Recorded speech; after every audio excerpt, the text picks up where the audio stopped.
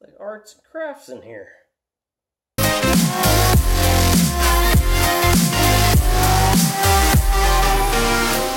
Alright, so welcome back to Basin Motorsports. Today I'm going to start on the wide body piece and I've just randomly selected the uh, passenger rear quarter to at least start on. So as I mentioned before in kind of the overview, I'm going to put in a fuel filler door on the flare itself. Now to replicate that, I mentioned I was going to use cardboard, so basically I've used a piece of cardboard. Now this is the stuff that I uh, was a kind of the big, heavy, thick craft paper. If you remember, I did uh, use some of this on the back of the headliner when I put that in. If you don't remember, I'll throw you a link up there and you can watch that where I use this stuff. Now this is the sun visor or the sunshade piece that I cut out that I kept because I knew eventually I would need it. And what I'm going to do is just basically put it on the back side. As you can see, I've just made a shape. So now this is the shape inside and all the holes. And now I shouldn't need a couple of these holes. These are the bumper and then these are the uh, mounting holes here that I won't need because they're actually going to stay in the metal and I won't need them on the extra piece on the flare. So before I drill these, I'll stop, double check myself, and then uh, do them that way. So now that I've got this shape, I'm going to cut this shape out, and then I'm going to bring it to the outside here and use this shape to define where this needs to be around this way. So basically I'm going to have a ring showing me this way that I can then take over to the, um, the flare and use that ring inside there to define where everything needs to be cut out. Okay, so now with the opening cut out, so this is obviously the fuel door. Once it flips open, you'll have this opening here. What I can now is you can feel where this goes on here and you can feel the edge. So I'm just going to use a pen basically and put pressure on it and then just give me a rough estimate. Now, once I get a line all the way around where I think it is, what I'll do then is just use some scissors, trim along that edge there, and then fine tune it from there. So just remember, take your time as you're doing this and kind of sneak up on it versus just going right at it and thinking you got it. Because if you go overcut it, then it kind of just makes you go, oh man, it didn't didn't work. So uh, sneak up on it, give yourself a line all the way around where you think it is going to be, and then you can just use some scissors and done. Okay, so there's the finished product. You can see the line on the outside, and now I'm just going to cut it with some scissors. Okay, so with the ring cut out now, now I can just try to fit it. See how it fits. Not bad. But what I wanted to do is I wanted to sit at the bottom of these edges. So I need to do a little bit more trimming and I want it to sit flat in the bottom of this groove here so that when I transfer it over to the flare, it will also sit flat in there and then I can just easily trace it versus having to position it. So what I'm going to do is just basically just cut on one edge get it to fit on on the bottom, then I can set it in there in the place, and then start going on the sides and then the top. Rather than going all at once, just do one side at a time. It's to make it a little bit easier just to kind of fine tune it. Okay, so here's the final kind of version of the ring itself. So you can see the fuel doors opening, and I've got the two mounting bolts here. I haven't done these two for the bumpers or the inside filler attachment pieces. Don't need them right now, so I'm to leave them alone. But if I take this ring off, I'm going to go ahead and put this flare back on here and then put the ring on it to see how it fits. Now with the flare put in place, you can kind of see the ring fits. Now it's not exactly a great fit, but it will be when I'm done. So all I've done is really just kind of replicated this opening here is what I'm really targeting, but I'm using these outer edges to kind of center it so that when I mount the fuel door in here, it will fit in there. Okay, so you can kind of see the fuel door here is going to fit. So if I just laid it over it, even though it's curved the wrong way, you'll know that it fits pretty well in there. So it's going to fit, it'll fit okay. The one thing to note though is that you've got this big curled piece that sits down in there, and I already can tell you that this is going to be deeper than between this and the inside metal. So what I'm going to have to do is actually recess that metal in and decide what I want to do. If I want, obviously I'm going to have to cut it out to be able to fit all this behind there, fit all this in there. So it's a matter of do I want to um, basically build a pocket on the back of it or I don't know yet. I'm not sure exactly what I'm going to do. I need to double check that.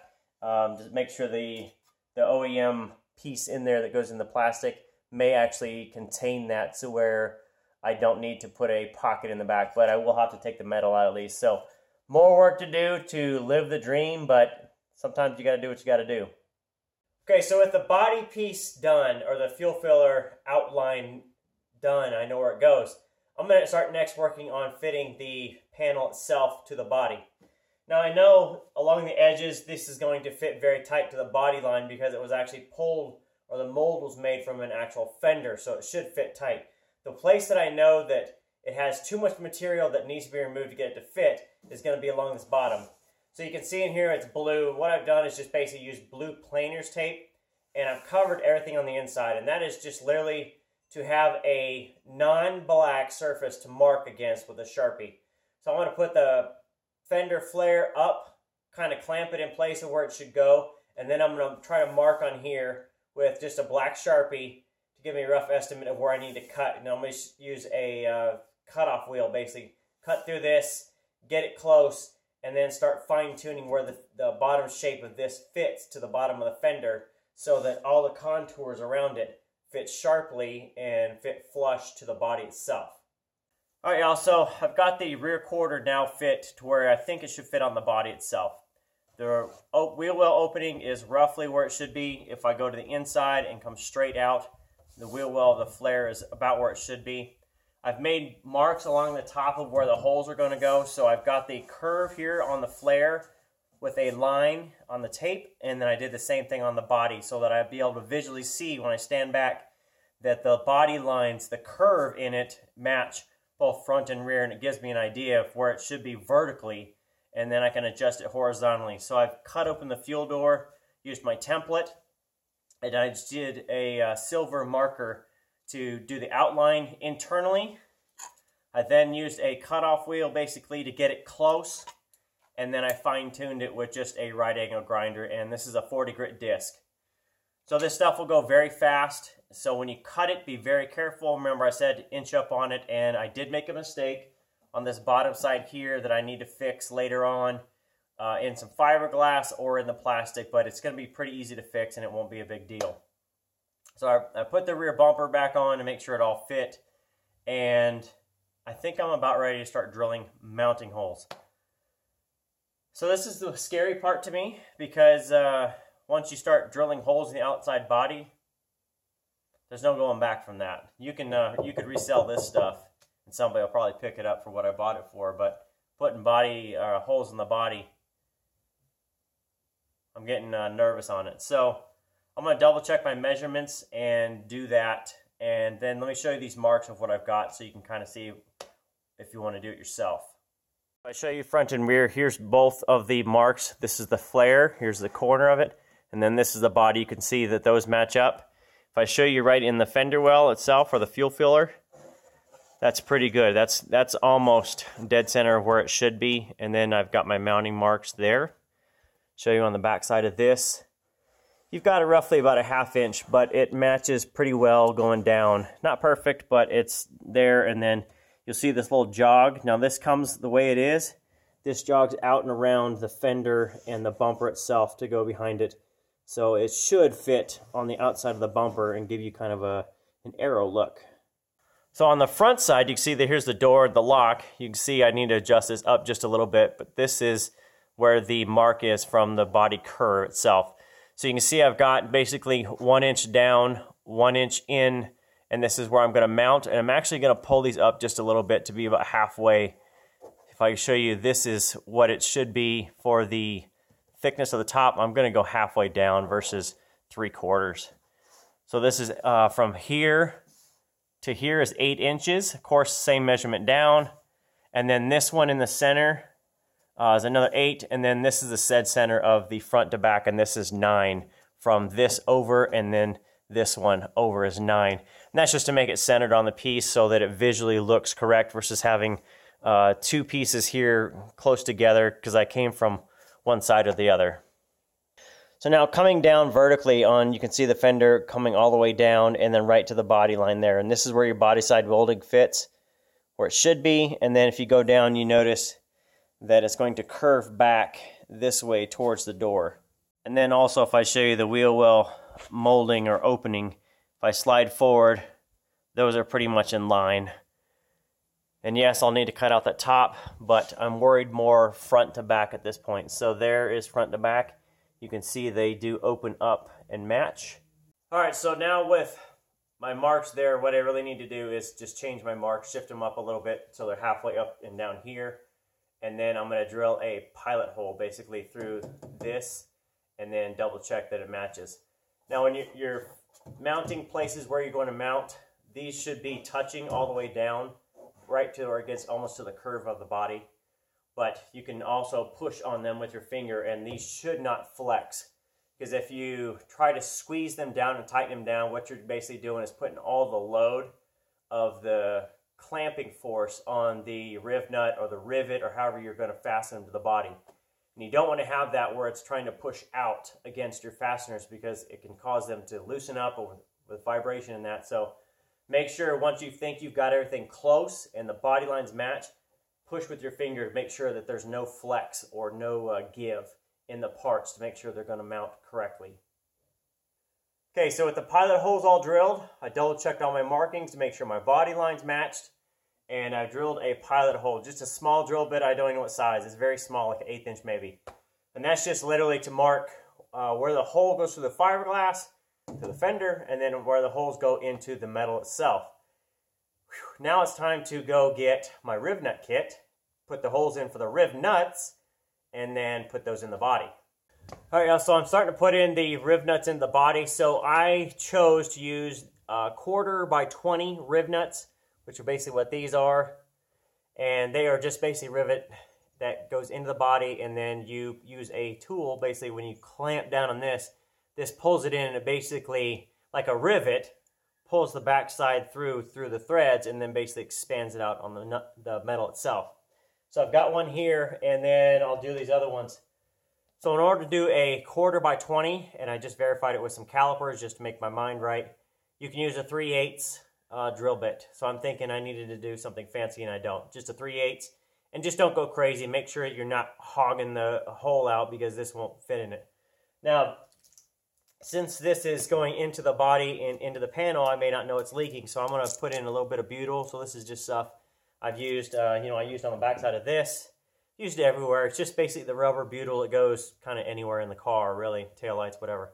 So just putting a little ring around the outside, and then as I pull this, the riv nut itself, pull it, it's basically squeezing the uh, butyl into the hole and kind of uh, sealing it so that when uh, the bolt goes in the middle here, nothing's going to get around the outside and go in the back. A little bit extra corrosion protection just because I want to do it and I have it. So if you don't have it, it's really kind of up to you if you want to do it. If you have a track only car that never sees rain, don't even worry.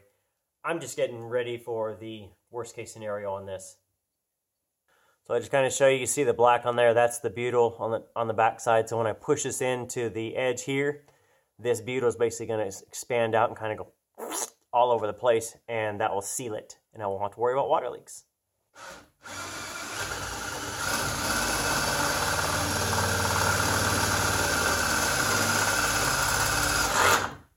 So the way the basic riv nuts work is I just basically take the piece, threaded mandrel, open this up, which extends it all the way out, twist all the way down, and then when I crank this down, this basically pulls the piece together and then squishes this metal, so it kind of crushes it down and gives it a ring on the back side. That way it doesn't pull through.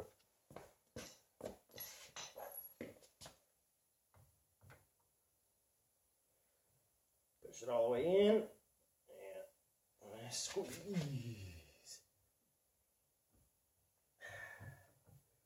Out. You just thread it out.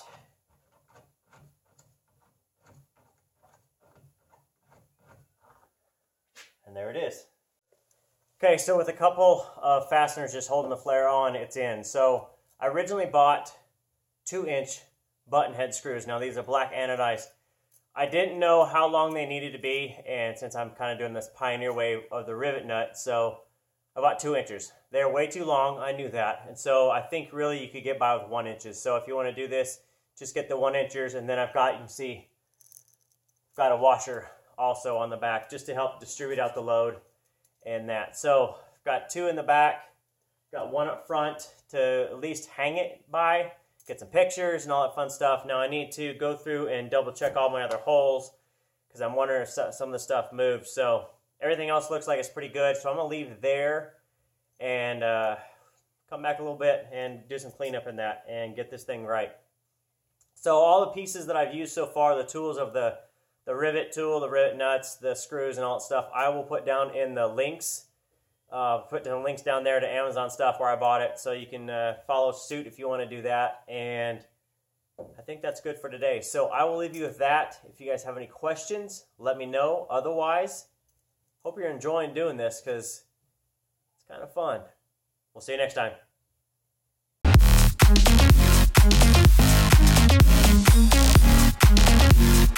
By my four, I'm